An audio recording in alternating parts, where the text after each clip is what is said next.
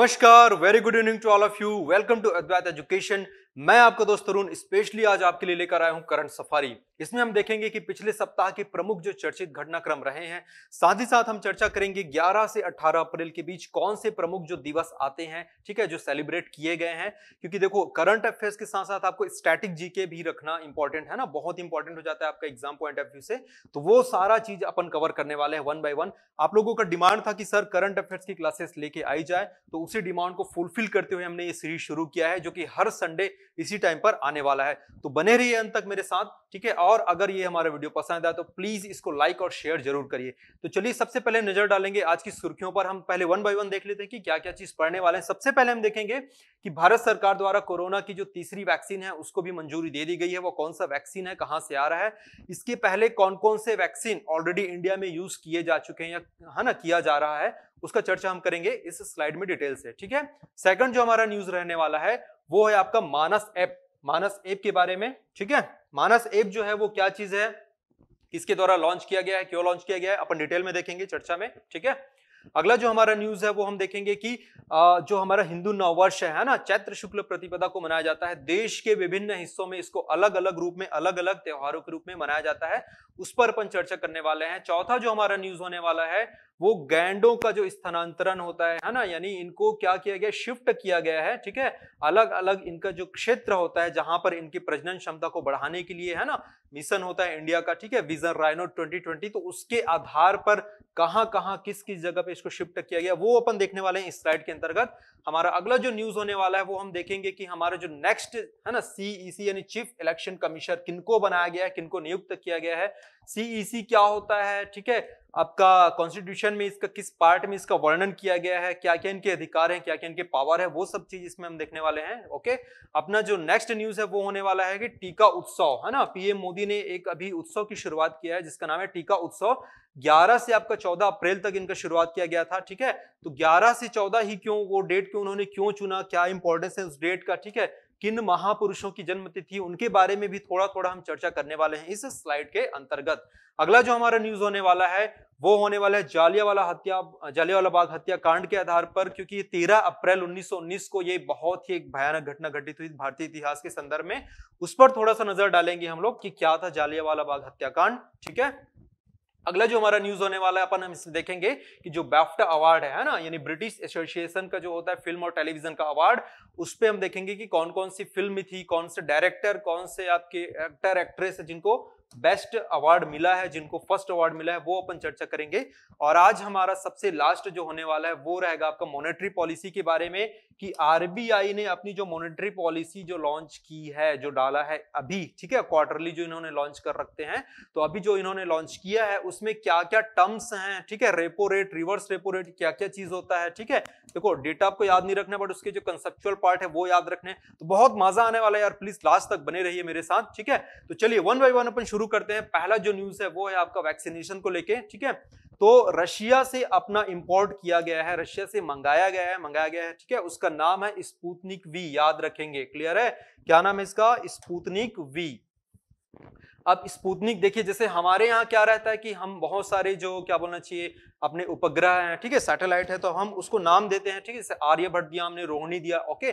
Similarly Sputnik जो था, Russia का फ़र्स्ट आपका क्या था, सैटेलाइट था, ठीक है, उनका स्पेशली वहाँ का जो कंट्री का नाम है वो तो उसी के आधार पर इन्होंने अपने एक वैक्सीन का नाम दिया जिस वैक्सीन का नाम है स्पूतनिक वी, ठीक है।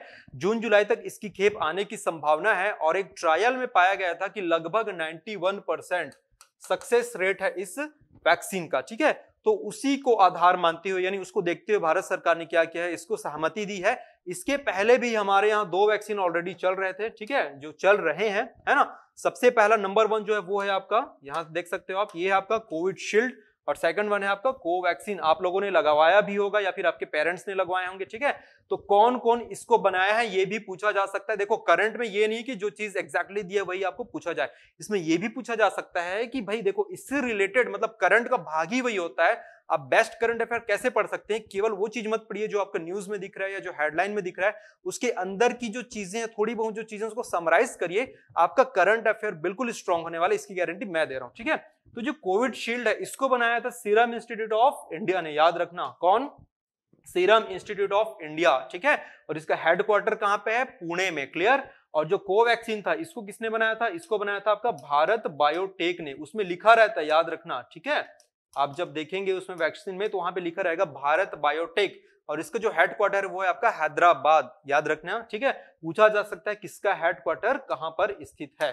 तो इसके पहले दो वैक्सीन जो ऑलरेडी यूज़ में हम कर रहे हैं, वो है आपका कोविडशील्ड, ठीक है? एंड कोवैक्सीन, जो तीसरा हम इंपोर्ट करने वाले, वो है आपका स्पूतनिक वी और ये कहाँ से लाया जा रहा है इसको? रशिया से। थोड़ा सा देख लेते हैं कि स्पूतनिक वी क्या चीज़ है, ठीक है? इसके बारे में चर्चा करेंगे, ठीक है? ये जो लॉन्च किया गया या फिर बोल सकते जो बनाया गया, विकसित डेवलप किया गया है, वो है आपका, है ना Gamaleya national research institute of epidemiology and microbiology और ये कहाँ पर स्थित है? ये है आपका मॉस्को में। तो सीधी सी बात है मॉस्को मतलब कहाँ पे हो गया? ये रशिया पे। क्लियर है? तो याद रखना कहाँ पे है ये? मॉस्को पे, यानी रशिया पे, ठीक? और इसमें डिफरेंट दो वायरस का यूज़ देखो एंटीवायरस या फिर जो वैक्सीन होते हैं, ठीक है? उसमें वायरस का कुछ ना कुछ अंश शामिल किया जाता है तो इसमें एक इंपॉर्टेंट वायरस पूछा जा सकता है। साइंस के लिए भी बहुत इंपॉर्टेंट है ये कि एडेनो वायरस क्या चीज़ है सिंपली पूछा जा सकता है। तो जो एडेनो वायरस होता है, इसका जो कॉमन सिम्टम्स रहता है कफ एंड कोल्ड रहता है, याद रखना, जो सर्दी खांसी लगता है, जैसे आपने देखा होगा, अभी भी आपके यहाँ अगर आपने डोज लिया होगा या फिर वैक्सीन लिया होगा, आपके पेरेंट्स ने लिया होगा तो कुछ किसी को सर्दी, खांसी, बुखार लक्षण थोड़े से नज़र आते हैं। तो वही सारा चीज़ इसमें भी आने वाला है। इसका बोलने का मतलब ये है, ठीक है? तो ये था आपका स्पुतनिक वी के बारे में हमने देखा, ठीक है? अगला जो हमारा न्यूज़ है, वो है आपका मानस ऐप। क्लियर है? मानस ऐप, इसको लॉन्च किसके द्वारा किया गया? याद रखना, प्रिंसिपल साइंटिफिक एडवाइजर। क्लियर है? भारत के प्रधान आपकी जो रहते हैं, है ना? वैज्ञानिक सलाहकार, क्लियर है? वैज्ञानिक सलाहकार से याद रखना जो पहले आपके प्रधान वैज्ञानिक सलाहकार थे हमारे मिसाइल मैन कौन? Doctor APJ Abdul Kalam first number के थे, ठीक है? अभी जो है रिसेंटली है ना, उनका नाम है के विजय राघवन। याद रखिएगा, नाम है उनका के विजय राघवन। सबसे पहले कौन थे बताया मैंने? Doctor APJ Abdul Kalam. अभी जो हाल में, फ़िलहाल में जो है, वो के विजय राघवन तो एक मानस ऐप लॉन्च किया गया है। नाम से स्पष्ट है, ये मना स्थिति से, यानी आपका मेंटल हेल्थ से संबंधित है। इस ऐप के बारे में थोड़ा सा हम चर्चा कर लेंगे। क्या है इसका फुल फॉर्म? फुल फॉर्म है mental health and normality augmentation system. ठीक है? फुल फॉर्म भी कई बार, देखो एसएससी के जो एग्ज़ाम्स रहते हैं, उसमें पूछ दिया जाता है कि इसका फुल फॉर्म क्या है। तो याद रखेंगे क्या है? Mental health and normality augmentation system, got it? चलिए, किसने इसको डेवलप किया था, यानी किसने निष्पादित किया था कौन कौन थे जो मिलकर बनाए थे? तो दो चार नाम एकदम कॉमन है, वो याद रखिएगा। सबसे पहले जो नाम है आपका, वो है आपका नेमास ठीक है? फिर है आपका सीडैक क्लियर और एक ये है आपका एफ़ एम ए सी है ना? इसका फुल फॉर्म देख लेंगे अपन। निमाज जो होता है, वो होता है आपका national institute of mental health and neuro science ठीक है? जिसका जो हेडक्वार्टर है, वो कहाँ पर है? बेंगलुरु पे। प्लीज़ नोट डाउन करते चलिए फुल फॉर्म पूछा जा सकता है। National institution of mental health and neuro science clear है? आपका जो सीडेक है सीडेक मतलब यहाँ पे जो लिखा है हमने सीडेक इसका भी आपने कई बार देखा होगा, पुणे में है ये, है ना? इसका जो फुल फॉर्म होता है आपका centre for development of advance computing ठीक है? Centre for development of advance computing और ए एफ़ एम सी है ना? ए एफ़ एम सी इसका भी जो हेडक्वार्टर है वो कहाँ पर है? पुणे पे है, ठीक है? ये सारा उसका लोगो दिए हुआ है, ये आपका आपका मिनांस का है, ये आपका सिडेक का है, ये आपका ए एफ़ एम सी का है। तो ये होता है आपका आर्म फोर्स मेडिकल कॉलेज जो आपके सशस्त्र बल होते हैं ना? जो आपके पैरामिलिट्री फोर्सेस होते हैं, उनसे संबंधित कॉलेज जो रहता है, उनको बोला जाता है आर्म फोर्स ठीक है? तो उसी के आधार पर एक कॉलेज है। तो आपका सीडेक और ए एफ़ एम सी इनका जो हेडक्वार्टर वो है आपका पुणे में, ठीक है? और आपका निम्हास का जो हेडक्वार्टर है, वो है आपका कहाँ पर? बेंगलुरु में। तो हेडक्वार्टर्स भी आप याद रखिएगा। गॉट इट चलिए, आगे बढ़ते हैं अपन। ये जो एपिडेमिक जो अभी चल रहा है मतलब जो महामारी चल रही है, इसके कारण ये एक रिसर्च है ना, एक रिसर्च कंपनी जिस, जिसका नाम है आपका प्रैक्टो तो ये प्रैक्टो ने क्या रिसर्च किया है? कि हाल फ़िलहाल में इस महामारी के कारण जो युवा अवस्था के लोग हैं ना मतलब जिसका एज ग्रुप जो रहता है ट्वेंटी वन टू फोर्टी के बीच है, इक्कीस से चालीस वर्ष, जिसको अपन युवा कैटेगरी में यूथ कैटेगरी में काउंट करते हैं, उनमें ये प्रॉब्लम बहुत ज़्यादा देखी गई है। क्या होता है डिप्रेशन का शिकार होता है, यार, मैं रहूँगा कि नहीं, बचूँगा कि नहीं एंड ऑल क्योंकि आपने देखा होगा, कोरोना का जो सेकंड वेव है, वो क्या कर रहा है, इस एज ग्रुप वालों को क्या कर रहा है, ज़्यादा इफ़ेक्ट कर रहा है। बट यार प्लीज़ आप पॉजिटिव रहिए, आप ज़्यादा इधर उधर डरने की सोचने की ज़रूरत नहीं, क्योंकि ऐसा माना भी जाता है साइकोलॉजिकली कि जितना ज़्यादा आप डरेंगे, जितना ज़्यादा आप सोचेंगे, उतना ही ज़्यादा क्या होगा? आपके अंदर वो डर बैठेगा, वो चीज़ आपको परेशान करेगा। तो हाल ही हाल फ़िलहाल में जो रिसेंट है ना, आपका रिसर्च हुआ है, मनोवैज्ञानिकों की संख्या, यानी डॉक्टर्स जो रहते हैं, आपके साइकोलॉजी वाले, उनकी संख्या में भी इंक्रीज कितना हुआ है आपका? सिक्स सिक्स फाइव परसेंट मतलब आप समझिए कितना ज़्यादा प्रॉब्लम होने वाला है। तो इसी को, इसी चीज़ को ध्यान में रखते हुए भारत सरकार द्वारा यह ऐप लॉन्च किया गया है, मानस ऐप। किससे संबंधित है, याद रखेंगे आपके?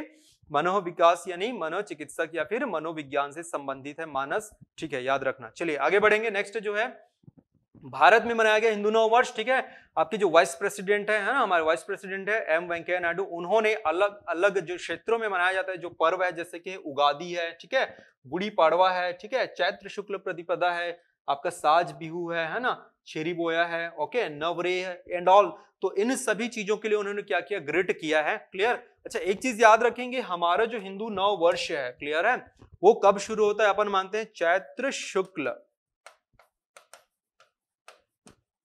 ओके दो पक्ष माना जाता है, आपके हिंदू नोवर्स जब आप पढ़ेंगे, है ना, आपको याद रहना चाहिए, जैसे कि इंग्लिश के जो बारह महीने होते हैं, सेम हिंदी के आपके बारह महीने होते हैं कौन कौन से होते हैं? चैत्र, बैसाख, जेठ अषाढ़ सावन, भादो क्वार कार्तिक, अघन पूस मास और फागुन, ठीक है? तो जो स्टार्टिंग होता है, वो होता है आपका चैत्र से होता है बट जो हमारा पंद्रह दिन का जो टेन्योर होता है ना, पखवाड़ा जिसको बोला जाता है, ठीक है?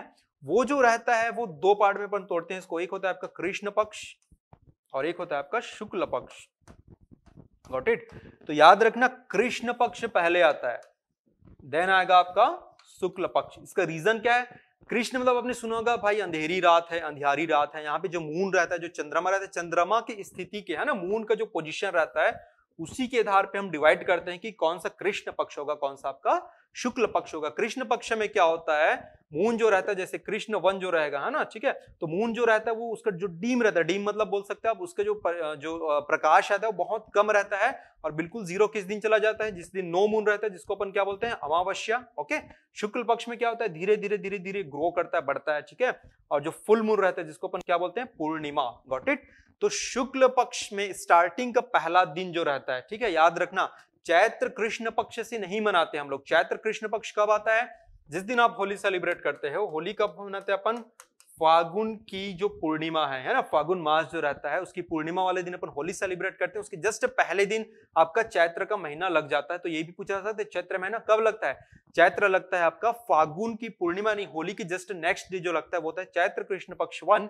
बट उसके पंद्रह दिन बाद आफ्टर फिफ्टीन डेज़ हम जो मनाते हैं, वो रहता है आपका चैत्र शुक्ल वन, यानी चैत्र शुक्ल प्रतिपदा। गॉट इट चलिए, आगे बढ़ते हैं हम लोग, देखते हैं इसमें कौन कौन से जो नौ वर्ष के रूप में मनाए जाते हैं, ठीक है? अच्छा ये भी याद रखना, ये टू ज़ीरो सेवन एट यानी आपका जो ईयर, जो नया लगा है, विक्रम संवत जिसको बोला जाता है टू ज़ीरो सेवन एट नव संवत्सर यानी ये कुछ नहीं है न्यू ईयर ही है जिसको बोला गया है। नव संवत्सर ठीक है? चलिए देखते हैं भारत के वो कौन कौन से हिस्से जिसमें कौन कौन सा त्यौहार अलग अलग रूप में मनाया जाता है। तो महाराष्ट्र में अपन इसको जानते हैं किसके नाम से? गुड़ी पड़वा के नाम से, याद रखिएगा। किससे? गुड़ी पड़वा के नाम से। क्लियर है? नेक्स्ट जो बैसाखी, पंजाब में किस नाम से मनाया जाता है इसको? बैसाखी के नाम से। बंगाल में चले जाइए, वहाँ पे मनाएँगे नव वर्ष के नाम से। असम में जब हम जाते हैं तो वहाँ पे मनाते हैं बिहू के नाम से, ठीक है? सिमिलरली यहाँ पे नॉर्थ ईस्ट में चले जाइए, यहाँ पे मनाएँगे हम लोग सब्ज़ी, नोनगामा या फिर पानबा चायबा करके, ठीक है? नॉर्थ ईस्ट में स्पेशली कहाँ पर? मणिपुर में, है ना? आप साउथ में आ जाइए, कर्नाटका में इसको किसके नाम से मनाया जाता है? उगादी के नाम से क्लियर है? आंध्रा में भी इसको अपन उगादी के नाम से मनाते हैं, तमिलनाडु में हम चले जाते हैं यहाँ पे, पुथांडु के नाम से। कश्मीर में जब हम चले जाएँगे नॉर्थ ईस्ट में, सॉरी, नॉर्थ रीजन में तो वहाँ पे हम देखेंगे नवरेह के नाम से, क्लियर? तो ये चीज़ आपका मैच द कॉलम में पूछा जा सकता है कि कौन कौन सा जो स्टेट में किस किस रूप में, यानी किस किस फॉर्म में इसको मनाया जाता है, ठीक है? चलिए, आगे बढ़ते हैं फिर हम लोग। हमारे जो नेक्स्ट न्यूज़ होने वाले इन्वायरमेंट का एक सेक्शन है पार्ट है, बहुत इंपॉर्टेंट है, याद रखना। असम वाला जो क्षेत्र है ना, असम, हमने इंडियन जियोग्राफी में देखा था, कहाँ पे है, असम का लोकेशन वहाँ पे आपकी जो फ़ेमस नेशनल पार्क है, जैसे मानस है, काजीरंगा है, औरंग है, ठीक है? तो इन क्षेत्रों में पाए जाने वाले गैंडों को उनकी क्या प्रजाति के आधार पर या फिर उनकी संख्या के आधार पर, जैसे कहीं पे अगर ज़्यादा है, ठीक है, अपन इन्वायरमेंट में एक अपन पढ़ेंगे अल्फ़ा बीटा गामा करके एक अलग अलग क्या होता है कि स्थानांतरण होता है, ठीक है तो उसमें अपन देखेंगे डिटेल में तो कहीं पर जब ज़्यादा रहता है तो उनकी संख्या को बैलेंस करने के लिए एक विजन यानी एक मिशन शुरू किया गया था, जिसको बोला गया था रिनो 2020 ठीक है रिनो 2020 या फिर आर आई ओ ठीक है तो इस मिशन के अंतर्गत क्या किया गया था कि गैंडो को संरक्षण संरक्षण करने के लिए एक मिशन की शुरुआत की गई थी, जिसके तहत अलग अलग क्षेत्रों से गैंडों को क्या किया गया? स्थानांतरित किया गया। ओके थोड़ा सा देख लेते हैं कि ये क्या विजन है ये, ठीक है? आईआरवी 2020 के अंतर्गत। इसके आधार पर इस संख्या को, यानी इनकी जो जनसंख्या था पॉपुलेशन था, गैंडो का, यानी रेणों का, उनको कितना करने का लक्ष्य घोषित था? थ्री थाउज़ेंड ठीक है? और इसी के लिए जो चार अलग अलग आपके जो रिज़र्व थे और है ना, biosphere reserve, sorry, national park थे और आपके जो सेंचुरी थे, ठीक है? सेंचुरी में कौन सा सेंचुरी था ये याद रखना? पाबी तोरा क्लियर है? क्या नाम है इसका? पाबी तोरा सेंचुरी है और बाकी की जो तीन है वो है आपके नेशनल पार्क, ठीक है? राजीव गांधी औरंग नेशनल पार्क, ठीक है? फिर है आपका काजीरंगा नेशनल पार्क और नेक्स्ट है आपका मानस नेशनल पार्क, ठीक है? तो यहाँ पर क्या किया गया था? उनको शिफ्ट किया गया था। साथ ही साथ ये भी याद रखेंगे कि रोहित शर्मा, है ना? हिटमैन। जो क्रिकेट देखते हैं, उनको पता होगा, जो रोहित शर्मा थे, उनको भी इनका ब्रांड एम्बेसडर नियुक्त किया गया था, है ना? रोहित फॉर रिनो के नाम से तो ये भी पूछा जा सकता है, कौन सा क्रिकेटर है जिसको इसके लिए अपॉइंट किया गया था तो वो था आपका रोहित शर्मा। क्लियर है? चलिए, आगे देखेंगे हमारा जो नेक्स्ट है, वो सुशील चंद्रा जो है, उनको क्या किया गया है? चीफ इलेक्शन कमिश्नर है ना? यानी आपका प्रमुख या मुख्य चुनाव आयुक्त नियुक्त किया गया है। कौन अपॉइंट करता है भाई? याद रखना प्रेसिडेंट अपॉइंट करता है इसको। कौन? भारत का प्रेसिडेंट यानी राष्ट्रपति कौन है अभी? महामहिम रामनाथ कोविंद, ठीक है? वो क्या करते हैं? प्रेसिडेंट जो रहते हैं, वो सीईसी e यानी चीफ इलेक्शन कमीशन को क्या करते हैं? वो अपॉइंट करते हैं, ठीक है? तो हाल ही में जो बने हैं वो कौन है? सुशील चंद्रा है। इन्होंने किसका स्थान लिया है? याद रखना, पूछा जा सकता है, कई बार देते हैं कि किनकी, किनको इन्होंने सब्सटीट्यूट किया है किनके बाद या फिर इसके पहले कौन थे? तो वो थे आपके Sunil Arora. Got it Sunil Arora. याद रखिएगा, ठीक है? तो चलिए देख लेते हैं कि भारत का जो चीफ इलेक्शन कमिश्नर होता है, वो क्या होता है? क्या क्या चीज़ें हैं, है ना? कॉन्स्टिट्यूशन में उसके बारे में क्या क्या चीज़ें दी गई है। तो भारत की जो टोटल 22 पार्ट्स हैं, उसमें इनका जो उल्लेख है, वो है आपका पंद्रहवें यानी फिफ्टींथ पंद्रहवें भाग में इसका उल्लेख किया गया है, ठीक है? और कौन कौन से जो आर्टिकल्स हैं जिसमें शामिल हैं?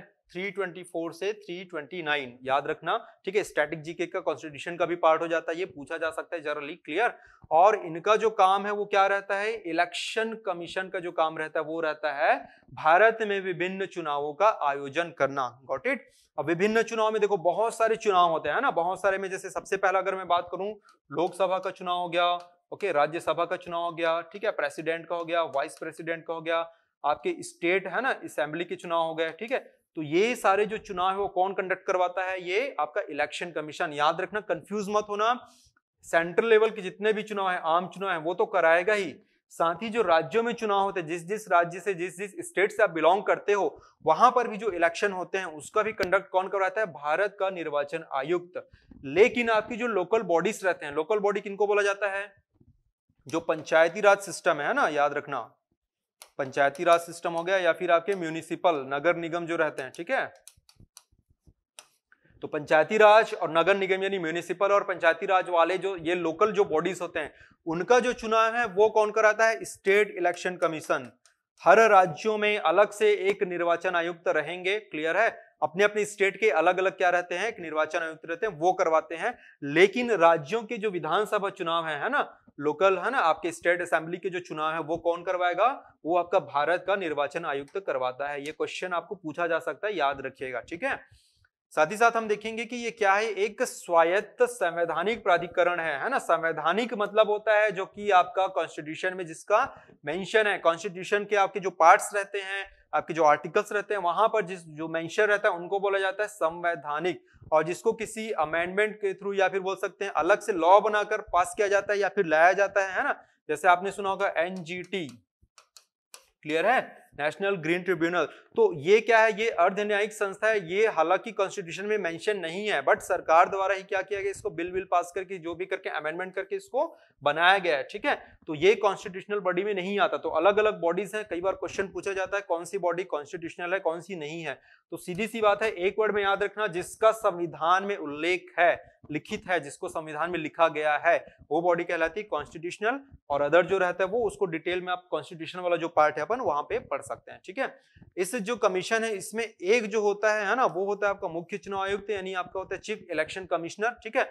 और दो जो रहते हैं, वो रहते हैं आपके इलेक्शनर कमिश्नर, ठीक है? मतलब दो इलेक्शन कमिश्नर रहेंगे और एक रहेगा आपका चीफ इलेक्शन कमिश्नर, ठीक है? इसके पहले क्या था 91 के आसपास एक ही बंदा था ठीक है मोनोपोली टाइप से, बाहुबली टाइप से अपना अकेला काम करता था तो क्या होता था, उससे थोड़ा सा आपका लॉबिंग हो सकता था, या फिर आपकी जो, क्या बोल सकते हैं, चीज़ें क्लियर नहीं रहती थी, करके क्या किया गया, इसको चेंज किया गया, फिर वन प्लस थ्री हुए, बाद में इसको वन प्लस टू कर दिया गया, ठीक है?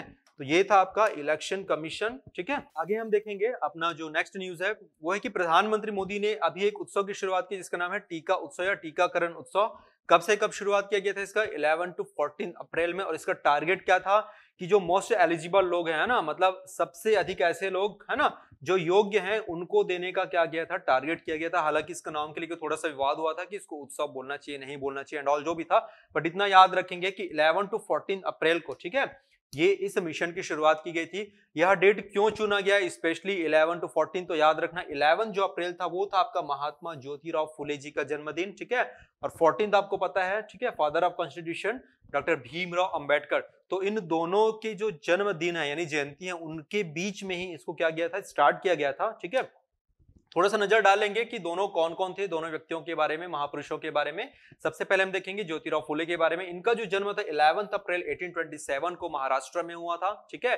और इन्होंने स्पेशली दलित समाज के उत्थान के लिए जो आपके लोअर जो इसमें बोला जाता है ठीक है? उनके उत्थान के लिए एक समाज की स्थापना की थी जिसका नाम था सत्य शोधक समाज। इनका मानना था कि ये जो जो परम पुरुष ने जो बनाया है सभी सेम है हम सब है ना एक ही ईश्वर के हम संतान है। तो ऐसा किसी भी टाइप का डिस्क्रिमिनेशन नहीं होना चाहिए। बिल्कुल सही बोलते हैं कि यार जो कास्ट सिस्टम एंड ऑल वो सारी चीज़ें रह, नहीं रहनी चाहिए समाज से हटनी चाहिए ठीक है?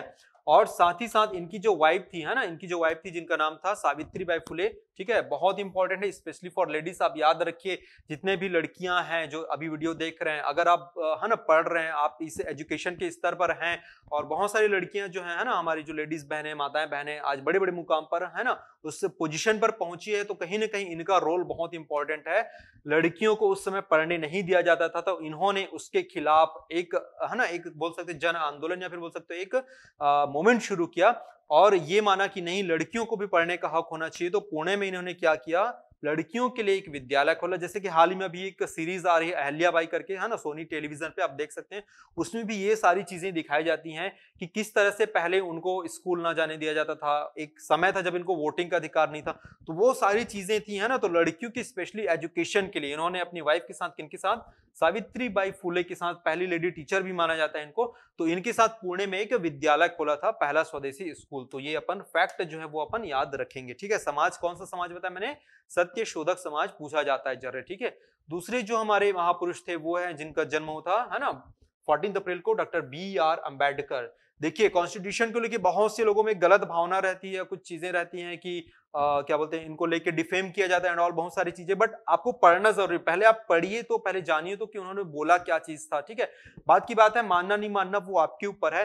इन्होंने खुद कहा था कि अगर कॉन्स्टिट्यूशन का मिस होता है तो मैं ही सबसे पहले वो व्यक्ति होऊँगा जो मैं इसको जलाऊँगा। इन्होंने ये भी कहा था कि कोई भी कॉन्स्टिट्यूशन कितना भी अच्छा कितना भी सुंदर क्यों ना हो जाए, जब तक उसको अमल में लाने वाले लोग, यानी जो उनको इंप्लीमेंट कर रहे हैं, वो लोग अगर अच्छे नहीं होंगे तो वो उस कॉन्स्टिट्यूशन का कोई मतलब नहीं है। दूसरा इन्होंने ये भी कहा था, अगर कोई कॉन्स्टिट्यूशन कितना भी बेकार या कितना भी खराब क्यों ना हो, अगर उसको अमल में लाने वाले लोग इंप्लीमेंट करने वाले लोग अच्छे हैं तो उस कॉन्स्टिट्यूशन को अच्छा माना जाएगा। तो मोटा मोटी तौर पर हम ये कह सकते हैं कि जो अभी हमारे फ़िलहाल फ़िलहाल में जो लोग बैठे हुए हैं, ठीक है वो क्या इसका अतिक्रमण कर रहे हैं? क्या इस चीज़ को उन लोग, है ना ओवरलैप कर तो वो कर रहे हैं कि नहीं? वो इनका कहना था, ठीक है? ये भाई, ये जो भाई साहब हैं, ये जो थे, है ना, डॉक्टर बी आर अंबेडकर इनकी, इनका ऐसे कोई ये नहीं था कि भाई इनको मिलना चाहिए, हक इनको नहीं मिलना चाहिए ऑल उन्होंने उस समय के हिसाब से वो सारी चीज़ें करके गए थे, वो चीज़ें, है ना, उन्होंने बताया था और साथ ही साथ यह भी कहा था कि अगर इसका मिसयूज होता है तो मैं ही वो पहला व्यक्ति होऊँगा जो इस पर क्या करूँगा?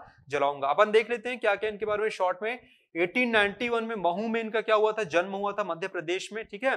साथ ही साथ इनको फादर ऑफ़ कॉन्स्टिट्यूशन भी बोला जाता है और ये अध्यक्ष थे किसके? ड्राफ्टिंग कमेटी के जब कॉन्स्टिट्यूशन बन रहा था, ठीक है? जब का भारत का कॉन्स्टिट्यूशन बन रहा था, बहुत समय लगा। लोग बोलते कि कॉपी पेस्ट है भाई कॉपी पेस्ट नहीं है। उसको भी करने के लिए आपको समय चाहिए होता है। आप ये जो वीडियो भी देख रहे होंगे, एक घंटे का वीडियो रहता है लेकिन इसके पीछे भी मेहनत रहती है। तो ये कोई चीज़ कॉपी पेस्ट नहीं होता, आपको मेहनत करना पड़ता है। उस जगह पे आइए, उस जगह पे एक बार आके देखिए, तब आपको समझ आएगा कि कॉपी पेस्ट क्या होता है और बाकी चीज़ें क्या होती है। तो इन्होंने जो ड्राफ्टिंग कमेटी था, उसका क्या थे? ये चेयरमैन थे, अध्यक्ष थे, ठीक है? साथ ही साथ भारत के पहले कानून मंत्री थे, यानी first law minister of India ठीक है? बाद में इन्होंने फिर Hindu code bill and all बहुत सारी चीज़ों को लेकर इस्तीफा भी दे दिया था। उसका चर्चा अपन हिस्ट्री वाले चैप्टर में जो भी फैकल्टी रहेंगे, वो करेंगे, ठीक है? आगे अपन देख रहे हैं कि इन्होंने जो आपका गोल में सम्मेलन हुआ था, यानी राउंड टेबल जो कॉन्फ्रेंस हुआ था, उसमें भी क्या किया था, पार्टिसिपेट किया था? अकेले ही व्यक्ति थे भारत के, जो कि तीनों राउंड टेबल कॉन्फ्रेंस में, यानी गोल में सम्मेलन में क्या किया था इन्होंने? पार्टिसिपेट किया था, ओके? ठीक है?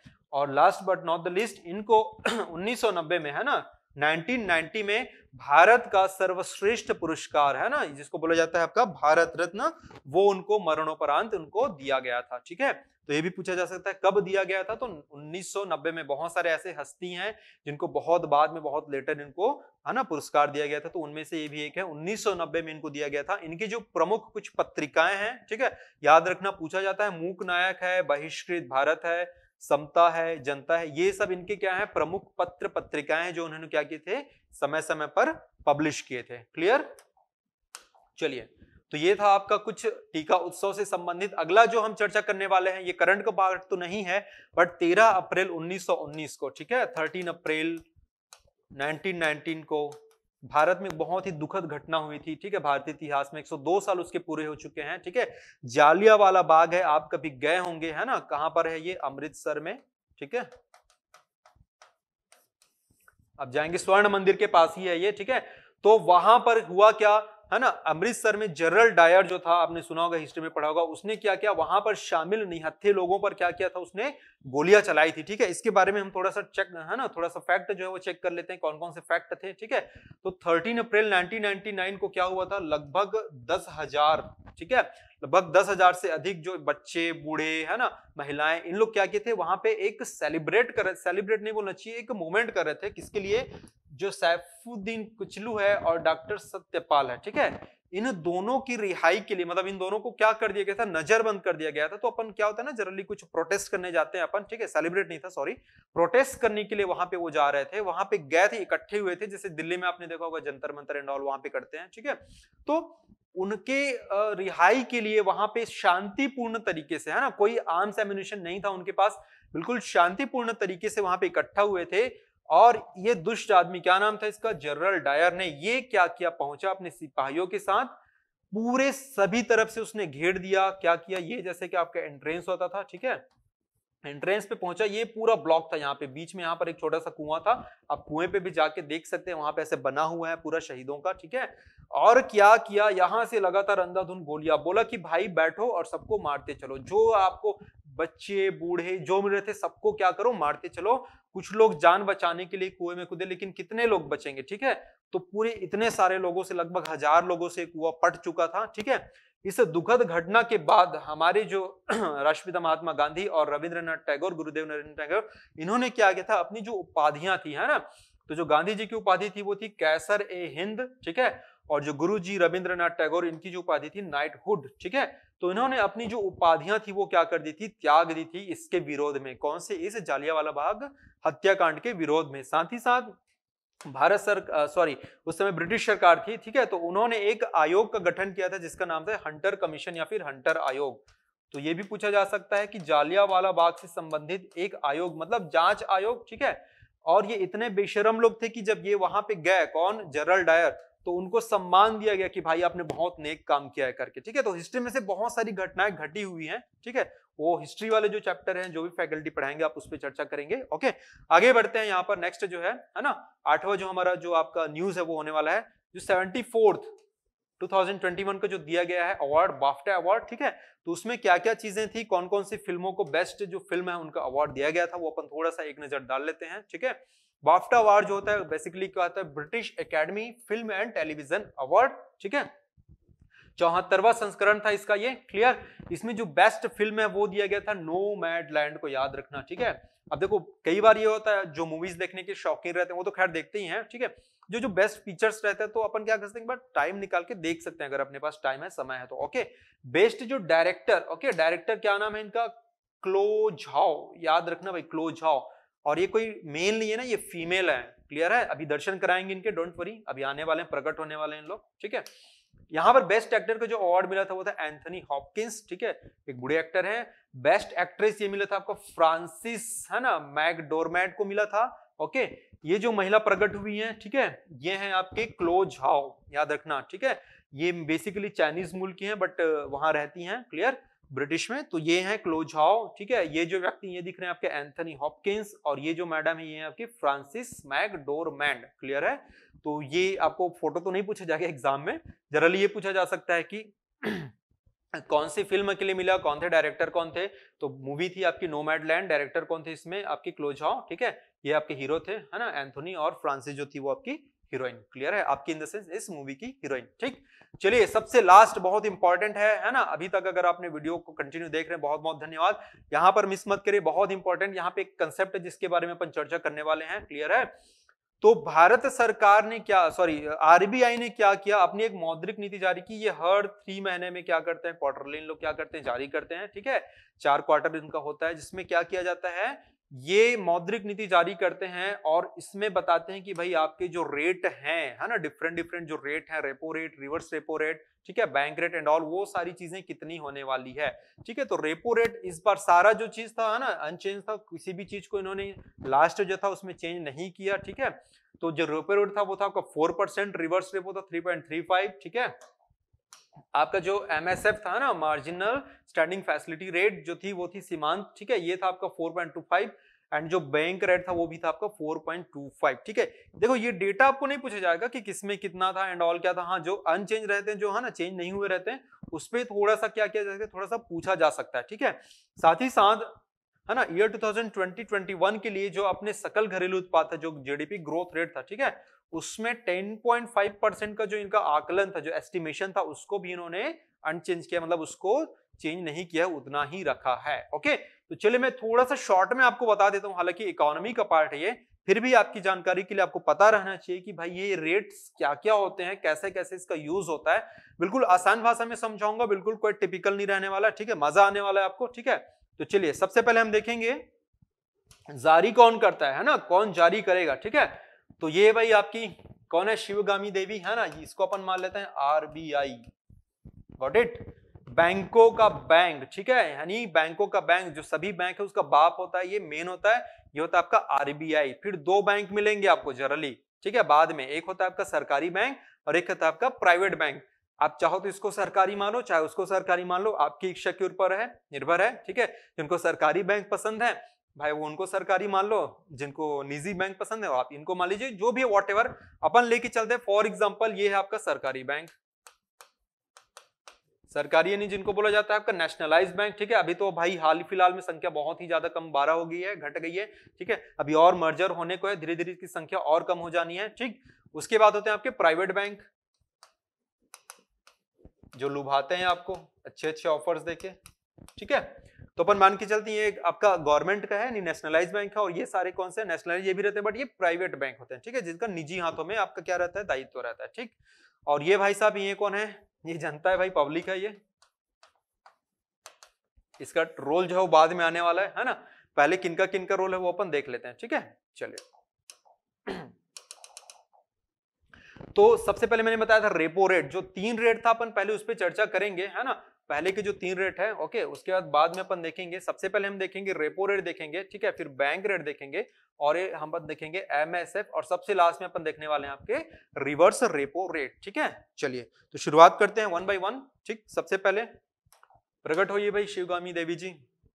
ठीक है, ये आ गई, ये है आपके आरबीआई ओके ये दोनों है आपके बैंक कोई सा भी बैंक ले लो कमर्शियल बैंक भी इनको बोला जाता है, ठीक है? तो क्या करता है, जो आरबीआई होता है है ना, वो क्या करेगा? इन दोनों बैंक को क्लियर है? जो मंगेगा, ठीक है? इन दोनों बैंक को क्या करता है? एक इंटरेस्ट पे, यानी एक ब्याज दर पे क्या देगा? पैसा देगा, ठीक है? क्यों देगा पैसा? सीधी सी बात है आरबीआई क्या होता है? बैंकों का बैंक होता है, सारा पैसा जमा होता है, ठीक है? और दूसरा चीज़, ये भी गवर्नमेंट भी, है ना, जो रहती कई बार आरबीआई से क्या लेती है? पैसा उधार लेती है। आपने न्यूज़ में सुना होगा कई बार, है ना 1.74 लाख करोड़ एंड ऑल ऐसा कि गवर्नमेंट ने लिया। तो आरबीआई जो होता है, मेन कैशियर खचांजी होता है, जिसके पास पैसा भर भर के रहता है, ठीक है? वो क्या करते हैं? बैंकों को, है ना, लोन देते हैं या कई बार क्या देते हैं? अमाउंट देते हैं किस एक पर्टिकुलर इंटरेस्ट या पर्टिकुलर एक रेट पे, ठीक है? तो जिस रेट पे, है ना, देखिए, तीन आपके समय या फिर तीन समय अवधि के आधार पर रेटों को तय किया गया है। सारा का सारा जो रहता है, किस्सा सिर्फ़ पर समय का है। रेपो आ जाएगा, ठीक है? एमएसएफ आ जाएगा, ठीक है? और एक आएगा आपका बैंक रेट।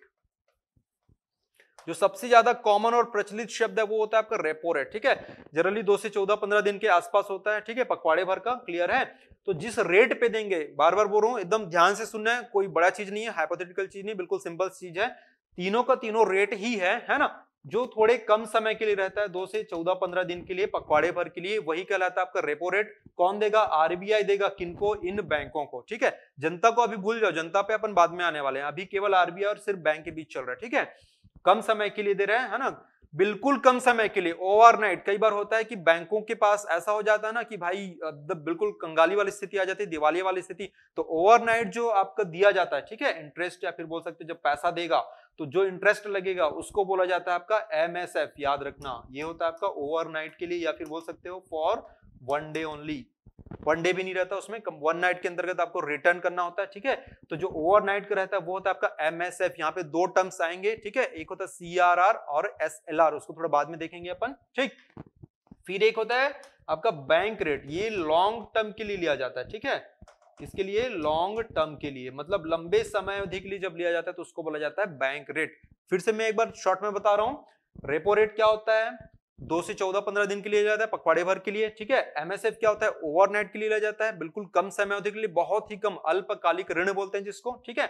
और बैंक रेट होता है, ये लॉन्ग टर्म यानी लंबे अवधि के लिए लिया जाता है, ठीक है? सब चीज़ वही है, कौन दे रहा है यहाँ पर? आरबीआई दे रहा है ओके और सबका जो रेट रहता है ना, कितना परसेंट देगा फोर देगा फोर पॉइंट फाइव देगा एंड ऑल कितना देगा, वो डिपेंड करता है। वो कौन तय करता है? आरबीआई हर तीन महीने में क्या करते हैं? ये इसको अपडेट करते हैं, ठीक है? तो ये थे आपके सारे रेट क्लियर अब आते हैं हम लोग रिवर्स रेपो रेट ठीक?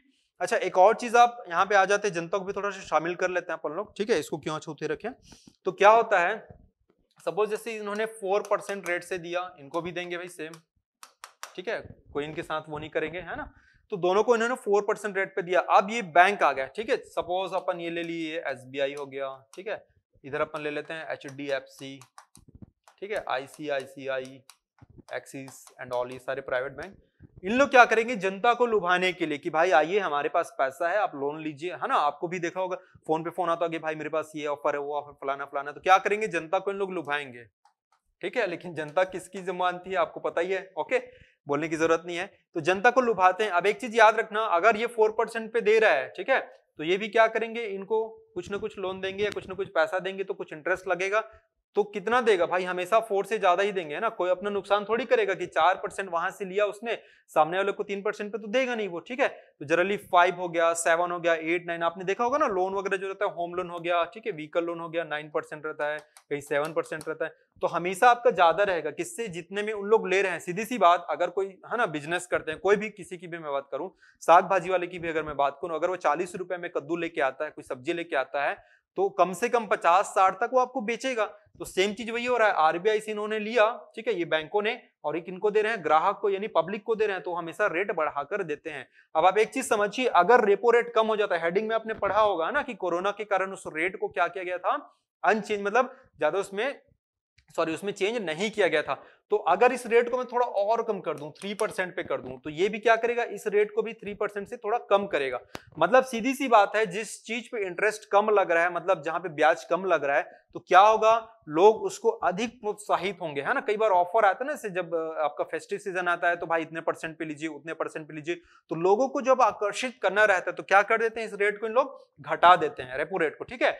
लेकिन अगर लगता है कि भाई मार्केट में इतना सबके सब खरीद रहे हैं, सबके सब खरीद रहे हैं, थोड़ी सी स्थिति सामान्य सामान्य नहीं हो रही थोड़ी सी है ना, गंभीर हो जा रही, तब क्या करते हैं? कंट्रोल करने के लिक्विडिटी को, यानी मनी को, जो रोलिंग है, उसको रोकने के लिए इन लोग क्या करते हैं? रेट को बढ़ा देते हैं। जब ये रेट बढ़ाएगा तो ऑब्वियस सी बात है, ये भी रेट बढ़ाएगा। भाई, अगर उसको बोलेंगे कि नहीं, अब हम इतने में दे सकते हैं करके तो ये भी तो टर्म्स एंड कंडीशन रखेगा ना, वो अपने जेब से तो देगा नहीं, ठीक है? तो ये आपका खेल होता है कि कब इसको बढ़ाना है, कब इसको कम करना है, ठीक है? अब आते हैं रिवर्स रेपो रेट पे। तो रिवर्स रेपो रेट क्या होता है? जो आ, क्या बोलते हैं आरबीआई रहती है, है ना वो इन बैंकों से यानी आपके नेशनलाइज बैंक यानी गवर्नमेंट या फिर सरकारी या ठीक है या फिर जितने भी प्राइवेट बैंक हैं उनसे क्या करते हैं पैसा देते हैं सॉरी पैसा लेते हैं ठीक है। अब ये पैसा क्यों लेते हैं? भाई उनके पास तो फुल पैसा है उनको क्यों चाहिए पैसा ठीक है? तो होता क्या चीज़ है कई बार आपने देखा होगा बैंकों में दो से तीन दिन की छुट्टी रहती है या कई बार लंबे हड़ताल या कुछ भी चीज़ों को लेके क्या होता है जनरली छुट्टी हो जाती है। तो उनके पास जो पैसा जमा है किनके पास बैंकों के पास, ठीक है? तो उस पैसे को क्या करते भाई, अभी मेरे पास कैश है, दो तीन दिन तक कस्टमर तो आने वाले है नहीं, ठीक है? कोई ग्राहक आएगा नहीं। तो क्या हो जाए, कम से कम एक या दो दिन का क्या बन जाए, मेरे को ब्याज बन जाए। तो उस रेट पे क्या करते हैं, इन लोग आरबीआई को बोलते हैं, भाई, तुम रख लो करके।